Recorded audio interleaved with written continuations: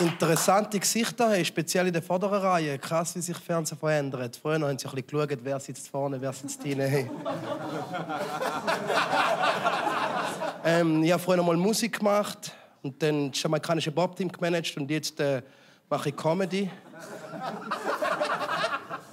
und jetzt mache ich Comedy und das ist interessant, weißt? Also ich habe zwischendrin noch vier Jahre Recht studiert. Also Recht studiert, was mit meinem Leben anfangen. Dann habe ich gedacht, hey, warum nicht Comedy? Und in der Schweiz ist interessant. Immer wenn du neue Leute kennenlernst, die erste Frage ist immer, wie heiß ist.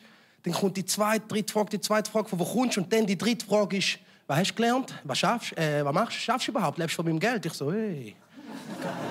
Ganz cool, ja, ich mache Musik. Also, als ich Musik gemacht habe und die Leute, ah, du machst Musik, also spielst du ein Instrument, dann spiel was vor. Ich so, äh, nein, keine Lust, also ich spiele kein Instrument. Aha, du singst, äh, sing was vor. Ich so, Nein, sing nicht, ich sing nichts vor. Leute wollen immer, dass du was vormachst. Ich so, ich rap. Ah, du rappst, dann rap was vor. Ich so, nein, keine Lust. Und jetzt, wo ich Comedy mache, ist genau gleich so, hey, Kiko, ah, du machst Comedy. Schon, ah, cool, äh, bring mich zum Lachen, erzähl mal einen Witz. Ich so, keine Lust. Darum, wenn ich neue Leute kennenlerne, wenn ich irgendwo neu dazukomme, und dann fragen sie mich, Kiko, was machst du? Ich so, ich, ähm, ich bin Gynäkolog.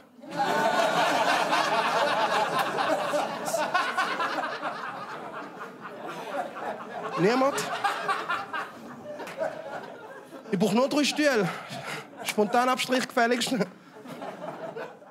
Aber das sind halt die Missverständnisse. Ich habe bei mir auch gemerkt, also je besser mein Deutsch geworden ist, zum Beispiel, habe ich mehr Missverständnisse mit Kollegen von mir, die nicht so gut Deutsch können, oder? Der ein Kollege von mir macht beim Reden zum Beispiel immer Flüchtigkeitsfehler. Also er ist geflüchtet und macht Fehler.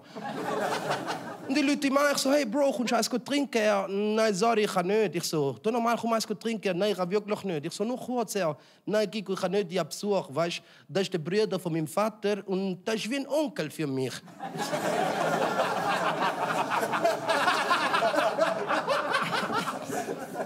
ich so, ja, du hast recht.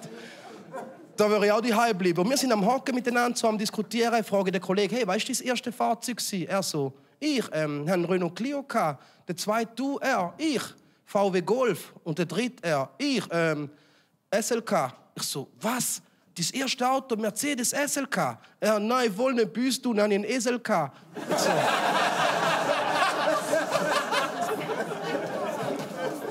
Aha.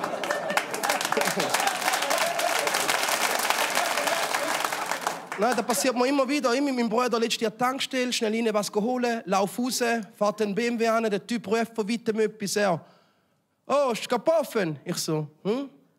Geh näher an, er, ist offen? Ich hab's nicht gehört, noch näher. Ich so, Bro, sorry, er, ist offen? Ich so, ah, sorry, ich habe kein Albanisch. Er, oh, ist offen? Ich so, ha.